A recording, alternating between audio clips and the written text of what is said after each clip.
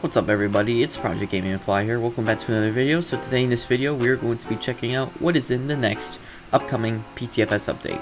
Now this one I did not expect to be added, but if we look, that's right, we have the Boeing 707 being added to the next PTFS update. So as you can see here, um, development has already been started on it, and we have a couple other variants down there. So as you can see right here at the time of this recording, we have this variant being added. It's this United States of America livery with this unique nose right here.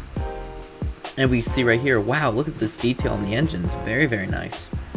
I swear, Orange always does this, does such a great job with these remodels.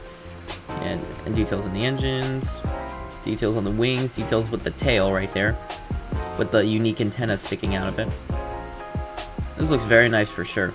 Um, so so to be honest, guys, um, I do not know what variant this one is with the nose right here, but um, just please comment, guys. If anyone knows what variant this is, please leave a comment down below because I tried googling it, but I could not find it. So if anyone knows what what specific variant this is right here, just leave a comment down below. And anyways, with that, um, we also have the passenger variant right here. It looks like the ex the exterior of the passenger variant finished uh, getting uh, made right here. And then right here we have the, um, this one, we have the E3 Sentry uh, variant right here, um, with the dome right here and stuff getting, we have it getting modeled, um, that's that right there, and then, yeah, we have this, and it looks just very, very nice, and yeah, as you can see right here, um, yeah, it says this right here, I tried googling that, but nothing came out, so if anyone knows, again, just comment down below. And we have the blueprints, very nice blueprints. of this right here. And here's the other thing too, guys. Not only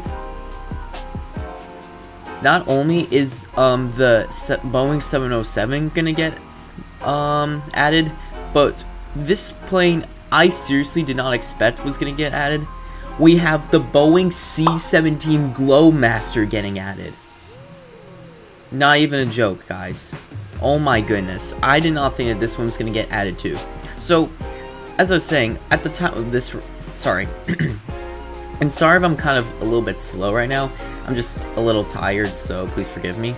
So, at the time of this recording, um, the C-17 has not started its development yet, but when that comes out, I will make another video of this one as well, so, yeah.